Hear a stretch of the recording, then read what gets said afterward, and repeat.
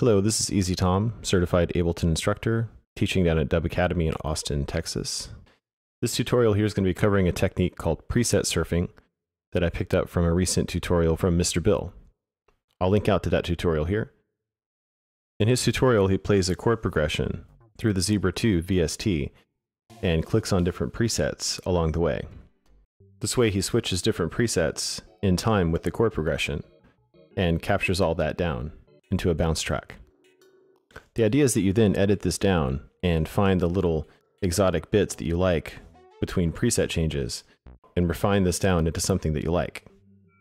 Definitely check out his tutorial and then come back over here. I'm going to take it one step further and automate these program changes using a Max for Live device. I should point out that this tutorial is in the Ableton Live 9 beta and that Max for Live now comes included with Ableton Live 9 Suite.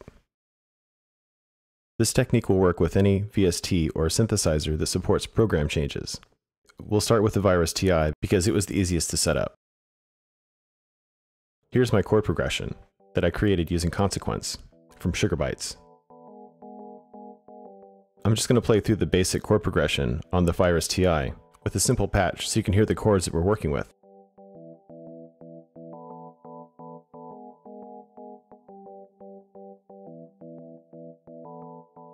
This Max for Live device is called Dial to Program Change. Once you add this device to this track, you're able to use MIDI CC messages to automate the preset changes. So now you can just draw them in. It's best to select a grid that will work with your chord progression. I found that a 1 4th grid works pretty good.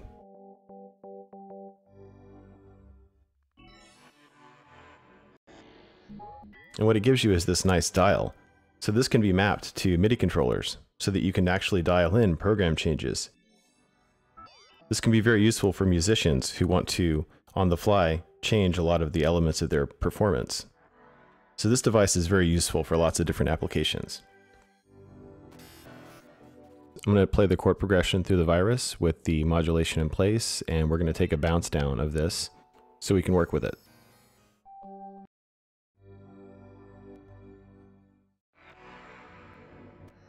I set up all three of these synthesizers to all route into a track called Glitchy. I'm using this to bounce down the synthesizers. The only thing to note with the Virus TI is that you need to use the bank dropdown to select different RAM banks on the virus. So bank 1 is RAM bank A, bank 2 is RAM bank B, etc. Okay, now I'm going to play through the chord progression on the Zebra 2. To get it to work, you have to set up what's called a MIDI program list. And you can find that down here in the preset window. Uh, the idea here is that you create your own list of programs that can be selected using the program change value. So you're limited to 128 presets, and these have to be ordered alphabetically so that they sort in the right numerical order that you want to address them with. So the best way is to prefix them with a number, 0 to 127. You can read about this on page 15 of the Zebra 2 manual.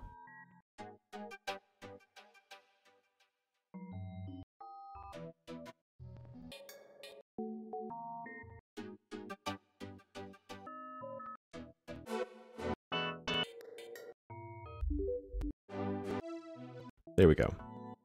Sounds pretty good. Okay, now we're going to run the chord progression through the massive VST from Native Instruments. This one also requires a little bit of setup to get it going with program changes. To do this, you have to define what's called a program list.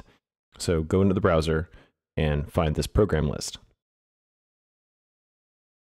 This defines 128 presets that you can select from using program change. So the idea is you drag in your favorites. And now Massive works with program changes. You can find this on page 91 of the Massive manual.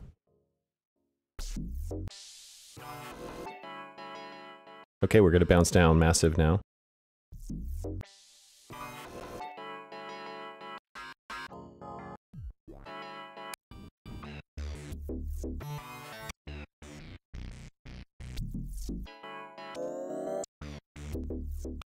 All right, I'm to play these three together along with this microtonic drum track just for fun.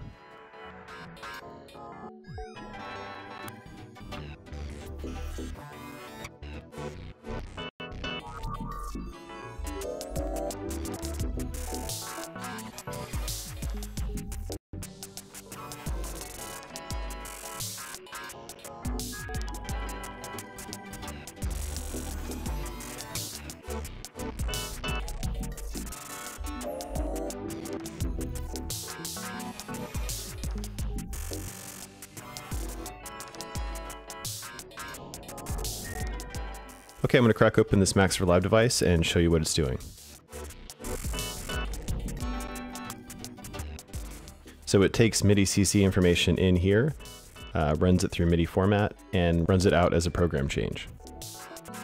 Uh, it also takes in the dial parameter and the increment and decrement buttons here as a way to also add control to program change.